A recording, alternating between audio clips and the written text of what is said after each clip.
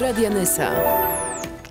E, Witam serdecznie, studio numer 2, Radionysa 103 i e, 6 FM. Naszym dzisiejszym porannym gościem jest pan Paweł Grabowski e, ze Stowarzyszenia Kukiz 15. Pan poseł Paweł Grabowski, witam serdecznie. Dzień dobry panu, dzień dobry państwu. Stowarzyszenie Kukiz 15 i Stowarzyszenie Endecja. I Stowarzyszenie Endecja. Tak, rozwijamy się. Zaraz będziemy o tym rozmawiać. E, Panie pośle, jak tam na drogach jest? Z brzegu, bo pan z brzegu do nas dzisiaj rano pędził. Tak, y, pędziłem z brzegu, y, pędziłem swoim drugim, wolniejszym autem, ponieważ... No właśnie bardzo niebezpieczny zawód posła się okazuje. Widziałem na Facebooku wczoraj, To że rozbił prawda. pan e, samochód. To prawda. Znaczy jeleń panu rozbił. tak Jeleń szczerze rozbił mówiąc. samochód. Prawdę mówiąc, y, ja nie wiem jak to się stało, no nie chcę tu być zbyt patetyczny, ale no cieszę się, że w ogóle żyję, bo to był duży dorosły jeleń, który nam wybiegł na drogę. E, Przytomność asystenta, jego szybkość reakcji sprawiła, że tak naprawdę dzisiaj siedzę tutaj z panem redaktorem. Państwo mnie słyszą, inaczej byłbym tematem pewnie numer jeden na pewno na Opolszczyźnie, może również w Polsce, bo mm, no zderzenie z jeleniem, ja widziałem kilka takich zdjęć pojazdów po tego typu konfrontacji. To jest tak, że to jest duże zwierzę, wysokie, ono jak wpada do kabiny, no to mieli po prostu e, pasażerów, więc, więc to mogłoby się skończyć tragicznie. Ale to też jest wniosek dla mnie, żeby podróżować wolniej, uważniej. I też taka prośba do Państwa, apel, żeby zwracać uwagę na to, ponieważ to miało miejsce wieczorem, kiedy wracaliśmy z Opola do brzegu i e, no, tego typu zwierzęta leśne gdzieś tam koło lasów czy, czy, czy na polach przechodzą przez drogę, więc warto to mieć na uwadze. Natomiast jeżeli chodzi o samą sytuację na drogach, prawdę mówiąc oceniam ją jako bardzo dobrą, chociaż zima jeszcze nie zdążyła zaskoczyć drogowców. E, drogowcy, myślę, uśmiecham się tutaj do nich, ale cały czas oczekują, aż zima ich zaskoczy. E, pierwszy śnieg e, niebawem spadnie, podobno w Warszawie już spadł, ale myślę, białym że... stoku leży już. no jak biały stok, no to wiadomo, że śnieg tam musi być. Mm, Ale tutaj myślę, że mm, nie będzie aż tak, nie będzie aż tak źle, ale apeluję przy tej okazji e, o, o troszeczkę nogę z gazu, bezpiecznie na tej drodze będzie. Panie pośle, jak pan ocena, ocenia wybór Amerykanów? Jestem zszokowany. Jestem zszokowany tym, że 2 miliardy dolarów wydane przez panią Clinton i jej popleczników, że cała kampania nienawiści i hejtu wylewanego na Donalda Trumpa No podobno to Donald Trump, Trump wylewał tą... No tą właśnie, no to właśnie. O, ty, o, o, ty, o, tej, o tej kampanii siebie. mówię, o tej kampanii mówię. Jestem zszokowany tym, że e, poparcie establishmentu już wszystkich po prostu, i giełdziarzy, i tam Jay-Z z, z tym, z Lady Gagą, wszyscy jednym głosem stanęli za panią Clinton po to, żeby utrzymać ten zepsuty, absolutnie zepsuty, skorumpowany establishment, ten świat, który zmierzał gdzieś do końca i okazało się, że jednak no co, że nie ma demokracji w Stanach, że został dokonany inny wybór, aniżeli życzyłyby sobie tego te zepsute, skostniałe elity. Także ja tutaj być może przewrotnie powiedziałem, ale bardzo się cieszę z tego wyboru. Podobnie zresztą jak Paweł Kukiz, który wysłał już list gratulacyjny do prezydenta Trumpa, prezydenta elekta. No właśnie Cieszę się- pisał, że w podobnej sytuacji byli. Tak. Jesteśmy w podobnej sytuacji, ponieważ e, Polskę również e, toczy problem zepsutych elit, elit ode- oderwanych od rzeczywistości, oderwanych od realnych problemów obywateli, e, elit takich, które tak naprawdę mają tego obywatela za jakąś taką zabaweczkę, nie traktują obywatela poważnie. Raz na jakiś czas są wybory, no to faktycznie wtedy ta elita musi skapnąć trochę swojego majestatu na obywateli, więc przyjeżdża na kilka wieców wyborczych, jest spęd, są baloniki, potem są wybory i kurz opada. Ja to przeżyłem w jakiś sposób e, już rok temu, kiedy pamiętam, em, pojechałem do Prudnika na, na konferencję NYSA 2020 i rozmawiałem tam ze starostą prudnickim i mówię, panie starosto, dzień dobry, chciałem się zapoznać z panem. Był zszokowany tym, pozytywnie zszokowany, tak jak ja dziś jestem pozytywnie zszokowany wyborem Trumpa. Był zszokowany tym, że przyjechał to poseł po wyborach, miesiąc po wyborach i chce podjąć współpracę, jakiekolwiek działania, jest otwarty na to, żeby działać, jeszcze mało tego, otwarty na to, żeby działać w Prudniku, a przecież poseł z brzegu, no to jak to, to, to dziwne. To jest nienormalne w e, tym polskim systemie, ale ja myślę, że tak naprawdę ten system jest nienormalny, ponieważ on przyzwyczajał, przyzwyczaja ludzi i to jest podobne, podobieństwo systemu i polskiego i amerykańskiego, gdzie elita uwłaszcza się na obywatelu. E, tak jak mówię, no, po, e, polityczne elity bawią się tymi obywatelami. To jest bardzo nieeleganckie i ja mam taką nadzieję, że faktycznie to jest jakiś taki sygnał zmian, że nie tyle sam, sama kadencja Trumpa i jego działania jako prezydenta, co do których nie wiadomo, jakie, jakie, jakie, jakie będą miały skutki, ale dla mnie wielką nadzieją jest samo takie przebudzenie się obywateli, że tak jak w Polsce część obywateli się przebudziła i się zorientowała, że władza ich po prostu żeby nie powiedzieć na D, no to oszukuje. E, tak samo w Stanach Zjednoczonych obywatele się zorientowali, że są nieelegancko traktowani przez, e, przez władzę demokratyczną i postanowili dokonać zmiany. Jaka to będzie zmiana, to zobaczymy, ale o tym, że może to być dobra zmiana, świadczyć może fakt, że w tych takich, no powiedziałbym, no, establishmentowych mediach jest po prostu panika, absolutna panika i w Stanach CNN i u nas wtórującym UTVN, no to no, wieszczą, właściwie nie tyle, że wieszczą, co obwieszczają koniec świata. Mhm. E, panie pośle, ruszyła też, ruszyły prace e, Komisji do Spraw e, Amber Gold. Pan w tej komisji był, teraz już pana nie ma. I chwała Bogu. No właśnie chciałem zapytać, czy pan nie żałuje trochę? Nie, nie żałuję. Ja niczego nie żałuję w swoim, w swoim życiu. Zwłaszcza jeszcze po tym wczorajszym wypadku mogę przyznać się wprost, że jestem człowiekiem bardzo głęboko wierzącym i wierzę, że, że Bóg daje mi takie zadania, czasami mnie przekierowuje w różne, w różne miejsca, Bóg czy opatrzność, jakkolwiek to sobie nazwiemy. Ale co jest istotne, Ale tutaj żeby... zadziałał nie Bóg, tylko yy, ABW. ABW, które nie dało panu dostępu no, do akt tajnych. Nie wiadomo, kto silniejszy tutaj w tym wypadku. E, tak, faktycznie miała miejsce sytuacja taka. Powód mojego odejścia z komisji jest e, następujący. Otóż Agencja Bezpieczeństwa Wewnętrznego odmówiła mi dostępu do e, akt o najwyższym stopniu oklauzulowania, Jakieś czyli tych uzasadnienie tajne. Było? E, i w decyzji o odmowie e, wskazano w uzasadnieniu, że mi tego e, nie przedstawią uzasadnienia, ponieważ nie mam dostępu do tak tajnych informacji. Zatem Coś pan takie, ma za uszami, panie pośle? Takie błędne koło. Nie, mam uszy czyste, za uszami też czysto. Dla mnie najważniejsze jest to, że ja mam taki wewnętrzny też spokój i z, z pełną swobodą, z panem tutaj o tym rozmawiam, z pełną swobodą w wielu innych mediach o tym mówiłem i absolutnie z pełną swobodą jestem w stanie o tym porozmawiać z każdym obywatelem, z każdym mieszkańcem Nysy, Brzegu czy Opolszczyzny. E, tak naprawdę nie wiem, jakie to wątpliwości wobec mojej osoby mogły się pojawić w ABW. Ja się oczywiście od tej decyzji odwołałem, ponieważ no, dziwnym dla mnie jest taka, dziwną sytuacja jest taka, w której e, podnosi się jakieś wątpliwości, bo tam chodziło o to, że mogłem być przedmiotem zainteresowania obcych służb, czyli ich inwigilacji. I dla mnie jest dziwnym trochę procesem taki, w którym no, rzuca się jakiś cień podejrzenia na osobę, e, a potem, a potem w zasadzie nie, ma, nie daje się żadnej szansy tej osoby na obronę.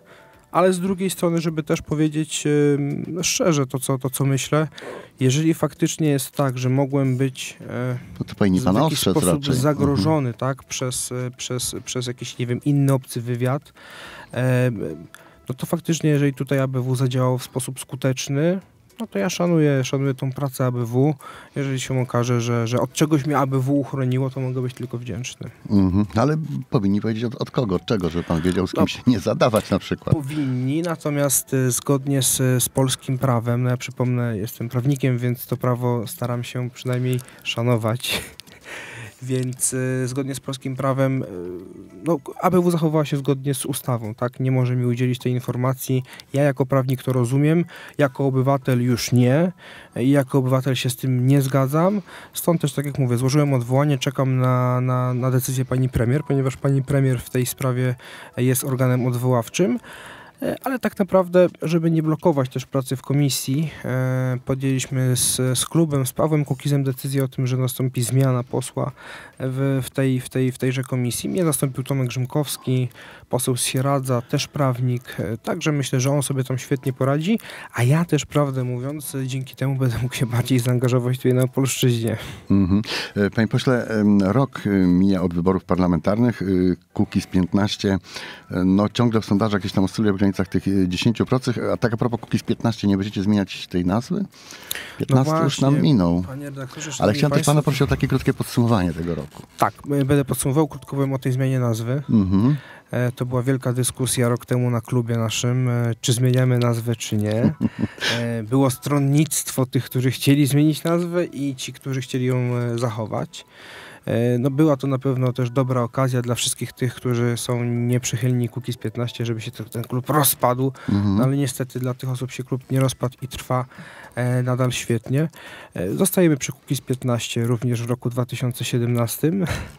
Tak, tak myślę. Ja przynajmniej jestem po tej stronie cookies 15, a nie 17. A jeżeli chodzi o podsumowanie roku, myślę, że no, to był dla mnie przynajmniej rok e, no, w pewnym sensie też zapoznawczy. Zapoznawczy z tego względu, że ja nie jestem wytrawnym politykiem, taki, który od 20 lat tutaj bryluje po, po, po scenie medialno-politycznej. U was to są chyba sami nowicjusze, prawda? W większości tak. Wszyscy posłowie Kukiz 15, którzy, którzy są w Sejmie, są w Sejmie po raz pierwszy. I prawdę mówiąc, y, dla mnie to wszystko też jest nowe. Stąd też na przykład na początku kadencji e, odwiedziłem wszystkie powiaty na Opolszczyźnie, y, wokół czego nie robiłem jakiegoś większego echa, y, a kiedy widzę, jak koledzy z innych partii tutaj na Opolszczyźnie raczą łaskawie odwiedzić jakieś miasto w województwie opolskim, e, no to, to, to jest po prostu wielkie wydarzenie medialne i Facebook aż ich huczy od tego, że poseł przyjedzie, raczy być, przyjechać do Strzelec Opolskich czy gdzieś tam. No, ja pojechałem bez ogłaszania tego e, szeroko. Będę również, y, pla, planuję również tego typu cykle spotkań w miastach powiatowych również odbyć w tym roku, żeby no, po prostu być, być dla ludzi. No to to jest jedno, czyli kontakt z ludźmi, widziałem też ostatnio Gazeta Wyborcza robiła podsumowanie mm, pracy posłów, takie statystyczne. E, no fakty są takie, że Jestem najaktywniejszym posłem, jeśli chodzi o ilość interpelacji, e, ale to wynika z tego, że moje biuro, tak, biuro w, w tym momencie no, w brzegu prężnie, w Nysie również e, mniej prężnie, ale spokojnie sobie działa. E, jestem na ostatniej prostej już chyba od półtora miesiąca z otwieraniem biura w Opolu, ale myślę, że pod koniec faktycznie listopada to biuro zostanie otworzone, co będzie pewnego rodzaju takim no, podsumowaniem roku. Przede mną również otwarcie biura we Wrocławiu, zatem bardziej się skupiam na planach, e, aniżeli na takim chwaleniu się, e, co, co w tym roku zostało zrobione. No mówię, dużo, dużo kontaktu z samorządowcami w tym roku będę chciał położyć, w przyszłym roku będę chciał położyć nacisk większy na, na kontakt z, z mieszkańcami. Mhm. Panie pośle, pan, e, Stowarzyszenie Kukiz, znaczy Kukiz 15 jest stowarzyszeniem, tak? Tak. Ale pan wspomniał też o endecji. Tak, tak. Może, może coś więcej? Coś więcej. www.endecja.pl, tam mhm. jest wszystko. E, no ale Endecja to przecież e, przedwojenna mocna partia była. Czy tak, to... zamierzacie powołać nową partię, nowy, nowy byt? To się okaże. Nowy byt już istnieje. Parlamentarny e... może? Ma, no, Panie redaktorze, to jest tak, że... W... Pytam też, czy może no, stworzyć jakieś koło w parlamencie już z istniejących posłów? Mm, do stworzenia koła potrzebnych jest trzech posłów. Z tego co wiem, w Endecji mamy w tym momencie pięciu albo sześciu posłów, natomiast absolutnie nie biorę pod uwagę takiej możliwości, bym wychodził z klubu z 15 i wchodził do jakiegoś koła. Absolutnie nie. Endecja jest e, pewnego rodzaju odpowiedzią na e, tak naprawdę na potrzeby ludzi. E, ja tylko wspomnę to, myślę, że wielu kolegów posłów, którzy być może będą tego gdzieś tam odsłuchiwali z zazdrością tą informację, odczyta, że na spotkaniu Endecji w Warszawie, takim wstępnym, organizacyjnym, e, na pierwszym spotkaniu, które się odbyło bodajże we wrześniu, było 300 ponad osób, przyszło, no, lokal Marka Jakubiaka po prostu pękał w szwach, mało tego to jeszcze się odbyło w piwnicy, więc, e, więc to, to, to, to stare nawiązania, ale... Przy ciechu? E, nie odpowiem. Mm-hmm. E, natomiast odbyło się też ostatnie spotkanie Indencji w Warszawie, na którym e, pojawiło się ponad 150 osób. E, to pokazuje faktyczne zapotrzebowanie e, Polaków na mądrą, racjonalną prawicę, ale taką taką prawdziwą prawicę, a nie prawicę, która jest gospodarczo lewicowa, czy nawet bym powiedział socjalistyczna, e, a ideowo narodowa. E, Zatem jeżeli mamy być narodową demokracją, to chcemy być w pełni e, skierowani na prawo i poglądowo, jeżeli chodzi o etykę i moralność i gospodarczo, a jeżeli chodzi też o nawiązania do, do tej tradycji e, międzywojennej, ja spotykam się często z zarzutami ze, stron, ze strony środowisk lewicowych, ale jeżeli środowiska lewicowe krytykują endeków, to dobrze, to znaczy, że świat jeszcze nie stanął na głowie. Natomiast zachęcam Państwa do przeczytania, krótka to jest deklaracja ideowa, dwustronnicowa tak naprawdę, która stanowi o tym, czym jest ta dzisiejsza nowa endecja. E, To jest przede wszystkim, e, dzisiaj to jest stowarzyszenie, e, które jest otwarte również na członków innych partii politycznych. Mhm. To jest, to jest istotne. Endecja.pl można się zapoznać, tak, tak? endecja.pl można się zapoznać. I to jest stowarzyszenie, w którym chcemy stworzyć. To jest takie kiedyś było hasło Polska dla Polaków. My dodajemy jedno słowo Polska dla wszystkich Polaków. Czyli nie dla prawdziwych, a dla wszystkich. Dla wszystkich Polaków. E, Przede wszystkim chodzi tutaj o wytworzenie no, przyszłych elit. To może brzmi dosyć dumnie i też patetycznie, ale chcemy wytworzyć nowe elity, takie, które będą oparte na dobrym wychowaniu, na wychowaniu patriotycznym, na działaniu na rzecz e, państwa polskiego, na rzecz narodu polskiego w takim pozytywnym tego słowa znaczeniu. Czyli absolutnie nie opierającym się na jakimś szowinizmie, lecz na kreatywnym, dobrym tworzeniu lepszego Panie pośle, państwa. Przekroczyliśmy już o kilka minut nasz czas, ale myślę, że słuchacze nam e, wybaczą. Pan tutaj gnał dzisiaj skoro do nas z brzegu. I ja chciałem pana zapytać jeszcze o dzień jutrzejszy. E, Mhm. Święto Odrodzenia Polski, gdzie pan spędza? Będę spędzał je w Warszawie na Marszu Niepodległości, na który wszystkich zapraszam. E, Maszerujecie jako endecja, czy jako kukiz? Maszerujemy jako Kukiz 15, Endecja to tak naprawdę, e, Endecja jest jedną, jedną z części składowych z Kukiz 15. Ja to tłumaczę w ten sposób, że jest takim jednym z palców w dłoni, e, którą jest cała platforma. Kukiz 15 jest e, tą podstawą dłoni, a jest kilka palców. Mamy, e, mamy republikanów, frakcję wolnościową w klubie, mamy frakcję tych takich wojowników, czyli osób, które e, gdzieś tam z Pawłem Kukizem były też wcześniej bardzo mocno Jowach. związane Mhm. w Jowach właśnie. Mhm. E, do tego jest, jest ta frakcja endecka, przy czym najistotniejsze jest to, że klub trwa, Kukiz 15, spokojnie, proszę się niczym nie martwić. E, cały czas to się też e, rozwija. Moim zdaniem idzie to w, dob- w dobrym kierunku, a jutro, tak jak mówię, ja spędzam, spędzam ten dzień w Warszawie na Marszu Niepodległości, ale wiem też, że w Opolu będą świetne, świetne uroczystości. Myślę, że w każdym mieście tak naprawdę opolszczyzny będą jakieś uroczystości. Nie ma tutaj w tym em, aż takiego wielkiego znaczenia, kto gdzie spędzi. Ważne jest to, żebyśmy się jutro po prostu poczuli chociaż przez chwilę dumni z tego, że jesteśmy Polakami. E, Dziękuję bardzo. Pan Paweł Grabowski, e, poseł Stowarzyszenia Kukiz 15, był dzisiaj i Endecji, tak. I Endek był dzisiaj e, naszym i Państwa gościem. Dziękuję, bardzo, miłego dnia.